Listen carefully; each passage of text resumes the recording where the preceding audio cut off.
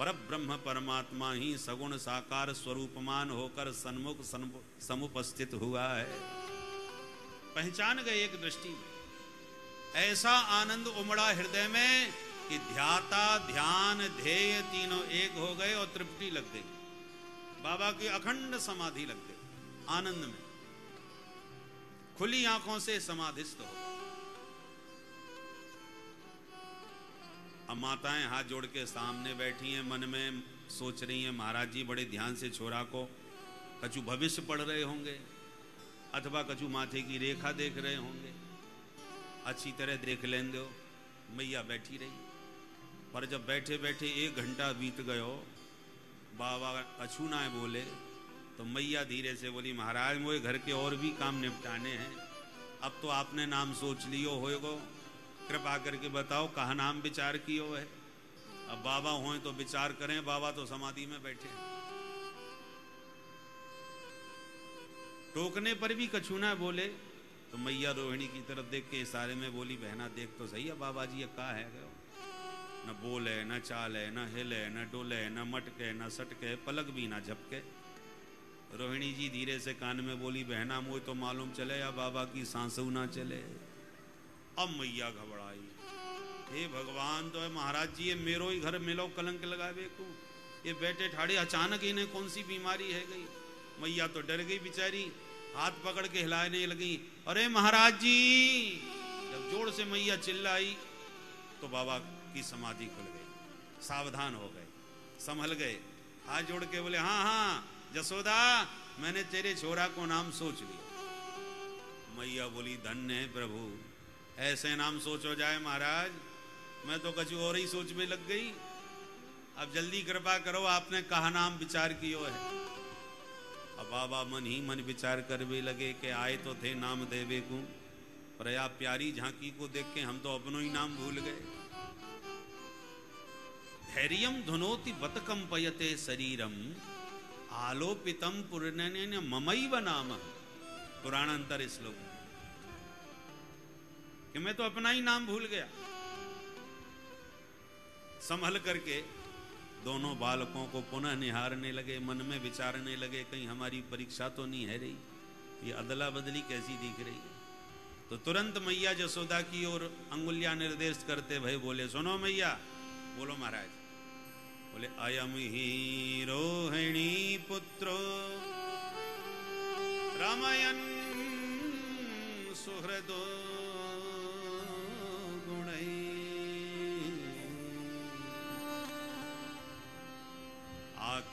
आख्यास्यते राम इति। बलाधिक्या बलम विदु। बलाधिक्या बलम विदु। मैया, तेरी गोदी में ये छोरा है, ये निश्चित रूप से रोहिणी को बेटा है।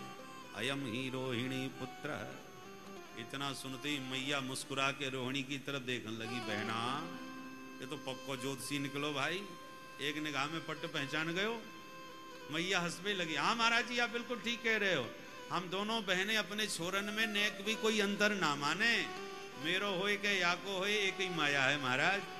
आप तो ये बताओ या को नाम का विचार कियो है? बाबा बोले, ये छोरा बड़े हो के बहुत बलवान निकसे वो। इसलिए या को नाम है गो बलराम। बलाधिक्यात बलम विदु। बहुत अच्छी बात है महाराज। अब या छोटे वाले को नाम और विचारे लो। बाबा बोले, मैया, या छोटे वाले के नाम की मत पूछे। एक हाथ नाम हो तो गिनाए दो। बहुनी संति नामानी, रूपाणी च सुतस्यते।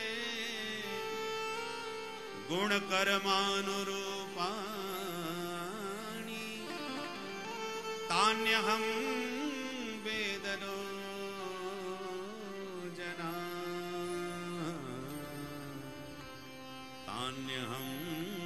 वेदनो जना। इनके नाम अनेक अनुपा। जाके तो हजारन नाम होंगे मैया। गोपाल सहस्त्र नाम विष्णु सहस्त्र नाम सब यही के नाम। मैया बोली, महाराज मोहे हजारन की आवश्यकता ना है। आप तो बढ़िया सो, चोखो सो, एक नाम बताए दो। बाबा बोले, मैया तो या समय हम या को नाम रख रहे हैं, श्री कृष्ण। महाराज कृष्ण को कहा मतलब होए? बोले, कृष्ण को मतलब होए करसयती कृष्ण। करसती ये सबन को अपनी तरफ़ आकर्षित कर ले ज़बरदस्ती। इसलिए कृष्ण नाम ज़्यादा प्रसिद्ध होएगा। कृष्ण का अर्थ सच्चिदानंद भी होता है। कैसे? कृषिर भूवाचक शब्द णस्य निर्वृतिवाचक, तयो रैक्यम परब्रह्म कृष्ण रित्य विधीयते। कृषिर भूव कृष्ण शब्द है ना, वो भूवाचक है भू सत्तायाम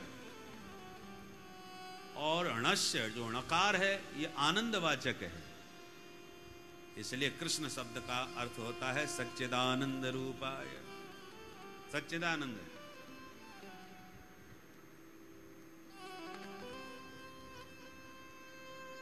मैया बोली, बहुत अच्छी बात है महाराज, बड़े सुंदर सुंदर नाम आपने विचार किए। ये और बता दो, मेरो छोरा बड़े होके करेगो कहा? नौकरी करेगो कि व्यापार करेगो कि ऐसी गैया चराम तो फिरेगो? बाबा बोले, मैया छोरा की ग्रह दशा बोल रही है कि ये नंबर एक को चोर बनेगो? मैया बोली, हे भगवान, है गयो मेला। ये आपने कैसी भविष्यवाणी कर दी महाराज? जी आपकी कृपाते मेरे घर में नौ लाख गैया हैं, दूध दही के भंडार भरे पड़े और मेरे लाला को आप चोर कह रहे हो? बाबा बोले, मैं कछु ना कह रहा हूँ, जो कह रहा हो, या कि ग्रह दशा कह रही है? मैया, साधारण चोर ना बनेगो, चोरन को सरदार बनेगो। हे भगवान, काय की चोरी करेगा ये और बताए दो। बोले, मैया, ये भी बताओ, बड़ो मुश्किल है। एक दो चीज़ थोड़ी चुरावे। ब्रजे वसंतम नवनीत चौरम, गोपांगनानाम चदुकूल चौरम।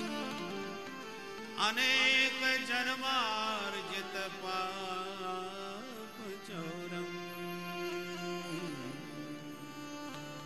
चौराग्रगण्यम पुरुषम चोर नहीं, चौराग्रगण्य। चोरन को सरदार होगो इसलिए या को नाम पड़ेगो हरि। हरति गोपी नाम चित्तम वित्तम नवनीतमति हरि। हरति प्रणत जनानाम पापम इति हरि।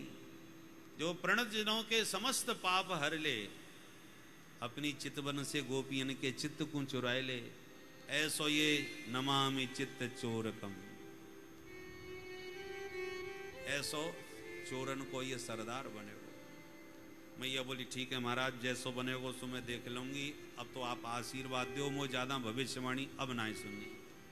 तो प्रणाम करके मैया तो लाला को लेके भीतर गई। एकांत में बोली, बहन, कछु है जाए, महाराज जी, विद्वान तो बहुत हैं भाई। पट्ट पहचान गए कौन को, लाला कौन सो है। पर नाम कछु टेढ़े मेढ़े धर दिए। बहन कृष्ण कहवे में मेरी तो जीवी चक्कर खा जाएगी। तो मैंने तो दो नाम सोच लिए। महाराज ने नाम रख दिए कृष्ण बलराम, मैंने नाम रख दिए कनुआ और बलुआ। सीधो सीधो नाम बोलबे में आराम। छोरा को चाहे जितना बढ़िया नाम धर लो, पर मैया लाड़ प्यार को नाम कछु अपने ढंग से ज़रूर रखे। तो मैया कृष्ण की जगह पर कनुआ, कन्हैया, कान्हा, ये मैया के प्राइवेट घर के नाम। अब धीरे धीरे दोनों कनुआ बलुआ घुटनों के बल नंद प्रांगण में बेहरण करना प्रारंभ कर दिए। काले न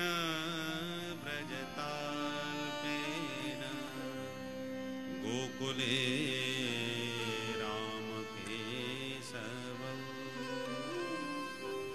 जानुभ्याम सह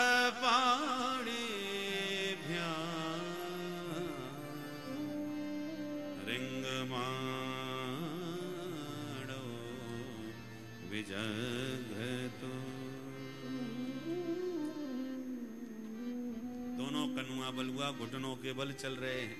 कभी कभी मैया की उंगली पकड़ के पैया पैया चलने का प्रयास करते हैं। मैया ने चरणन में छोटे छोटे नूपुर बाँध रखे हैं। जब भैया दोनों चलते हैं तो उनके नूपुरों की झनकार से नंद प्रांगण गूंजने लगता है। जनकृत होने लगता है। कितनी प्यारी झांकी नंद के आँगन की हो रही है। आइए सूरदास बाबा की आँखों से इस प्यारी झांकी का हम लोग दर्शन करें। किसी कवि ने कहा, देखन को घनश्याम की मूरत चाहिए सूर्य की आंधरी आँखें। भगवान की झांकी का दर्शन करना है तो सूरदास बाबा की आँखों से करो। जो दुनिया को तो नहीं देखते, पर उनकी आँखें वो देखती हैं जो दुनिया वाले नहीं देख सकते। श्रीमद वल्लभाचार्य महाप्रभु ने जब उन्हें ब्रह्म संबंध प्रदान किया और श्रीमद भागवत का रसामृत पान करवाया और फिर सिर पर हाथ रख करके पूछा, सूरदास जी, अब बताओ आपको क्या दिख रहा है? सूरदास जी बोले, महाप्रभु, अब तो मुझे नंद का प्रांगण दिख रहा है। अच्छा तो बताओ नंद प्रांगण में क्या हो रहा है? तो सूरदास बाबा झूम के गा उठे। रुन झून रुन झून जन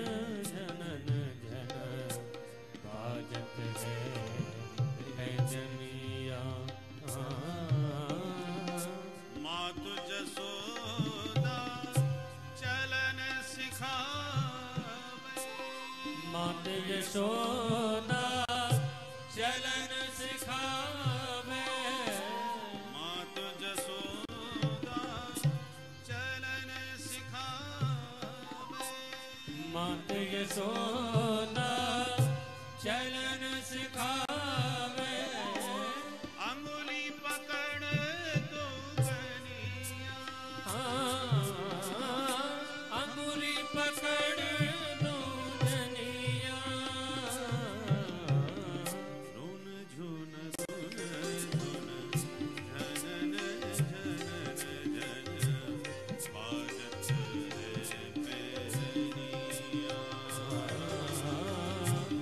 ઝૂને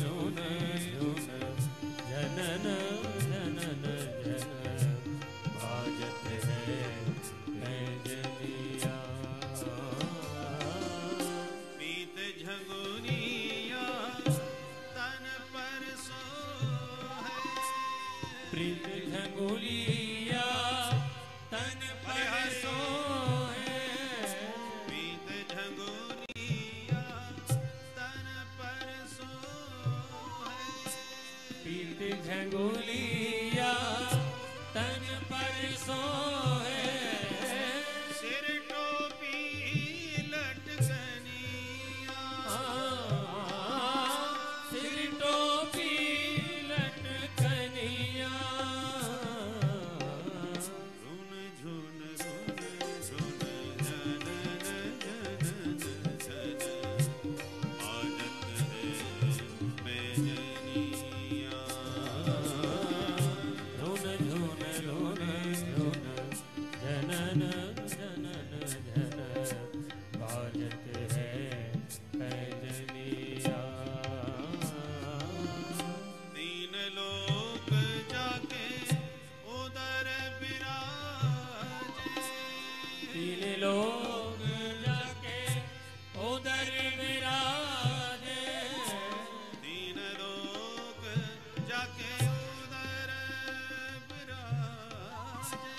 तीन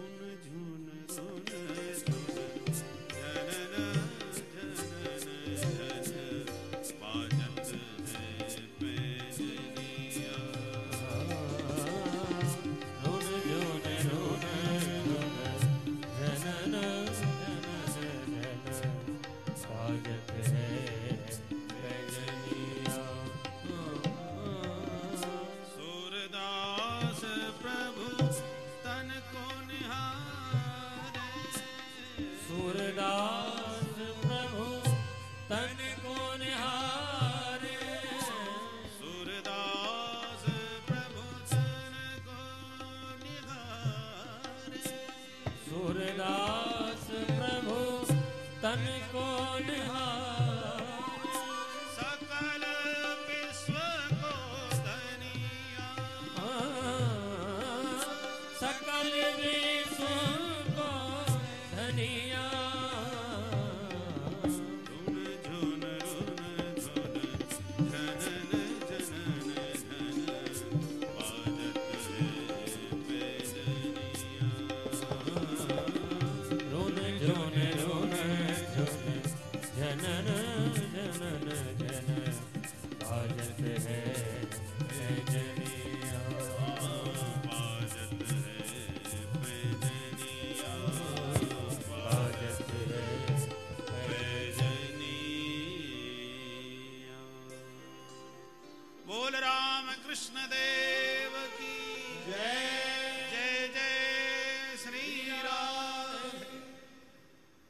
प्रकार से दोनों भैया बड़े सुंदर लग रहे हैं आँगन में, नूपुर बाँध करके जब पैया पैया चलते हैं तो। कभी गायों के सींग से दोनों भैया लटक जाते हैं। कभी बछड़ों के दांत गिनने लग जाते हैं कि कौन से बछड़े के मुँह में कितने दांत हैं। कभी जलती हुई लकड़ी को गोल गोल घुमाने लग जाते हैं। तो कभी चंदा मामा के लिए माधव मचल जाते हैं। चंद्र खिलो नाले हो मैया चंद्र किलो